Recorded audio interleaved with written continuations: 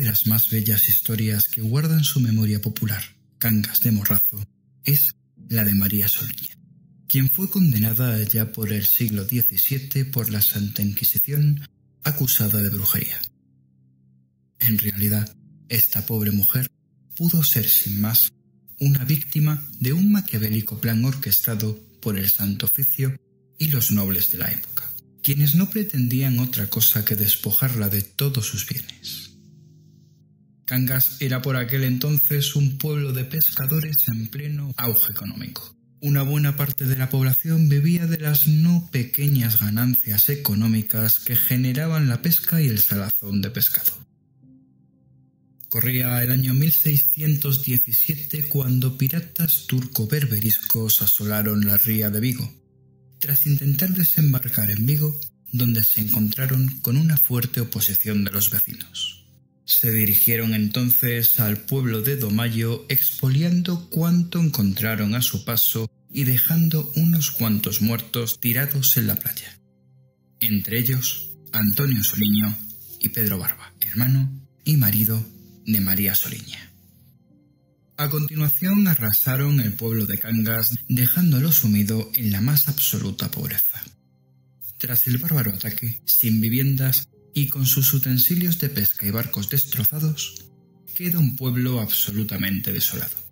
Cangas se sume en una de las más que notables crisis económicas que impide incluso que los vasallos paguen las rentas que los nobles exigen por el uso de sus tierras.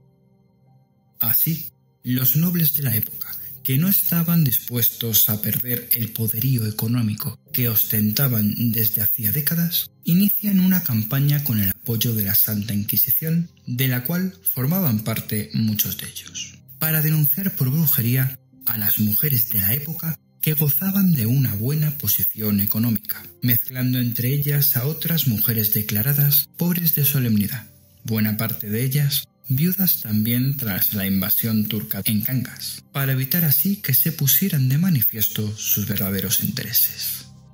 Fue el caso de María Soliña, quien al enviudar de Pedro Barba pasó a ser poseedora de todos sus bienes. Una casa de dos plantas en piedra, varias fincas, una adorna y lo más importante, derechos de presentación en varias capillas y freguesías de la zona, entre ellas la iglesia de San Martinio en Moaña, la Colesiata de Cangas y la iglesia de San Cibrán en Albán. Los derechos de presentación eran unos poderes según los cuales el poseedor de los mencionados derechos, habitualmente los sucesores del fundador de una iglesia, podían elegir a su titular cuando quedara vacante, teniendo además un porcentaje de las ganancias que la parroquia generase siendo como era mujer de importante fortuna, rápidamente llamó la atención de los nobles del lugar. La muerte de su marido y su hermano en la invasión turca de 1617 la sumió en una importante depresión. Cada noche recorría la playa escuchando las olas, recordando a sus familiares muertos. Las reiteradas visitas a la playa de noche fueron causa suficiente para iniciar contra ellas un proceso por diferentes acusaciones relacionadas con la brujería. María Soliña fue llevada a las cárceles secretas del Santo Oficio en el año 1621, acusada de entregar su alma al diablo y de poseer poderes demoníacos capaces de causar los más terribles males. Fue sometida a tortura física y psicológica hasta que confesó ser bruja desde hacía más de dos décadas, afirmando además en su desesperación que había llegado a mantener tratos carnales con el demonio. Por todo ello fue despojada de cuantos bienes poseía y condenada a llevar el hábito de penitente durante seis meses. No fue María Soliña la única bruja juzgada en aquellos tiempos. Muchas fueron las mujeres que sufrieron injustamente en sus carnes estas falsas acusaciones, fruto de la avaricia de quienes ostentaban el poder. Aunque está constatado que María Soliña nació en el año 1551 en la propia villa de Cangas, nada se sabe cierto sobre la fecha de su muerte. No hay partida de defunción ni se conoce el lugar donde pudo ser enterrada. Lo que ha contribuido, sin duda, a alimentar el mito de que el personaje nunca ha muerto.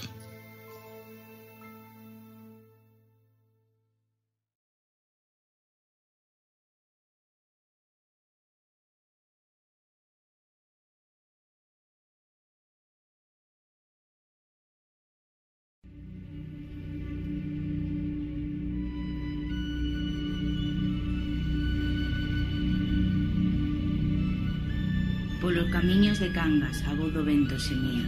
Ai, que soliña quedache, María Soliña. Nos areales de Cangas, muros de noite se erguían. Ai, que soliña quedache, María Soliña. As ondas do mar de Cangas, a cedos secos traían. Ai, que soliña quedache, María Soliña. As gaivotas sobre Cangas, soños de medo tecían. Ai, que soliña quedache, María Soliña. Baixo os tellados de Cangas anda un terror de auga fría. Ai, que soliña quedache. María Soliña.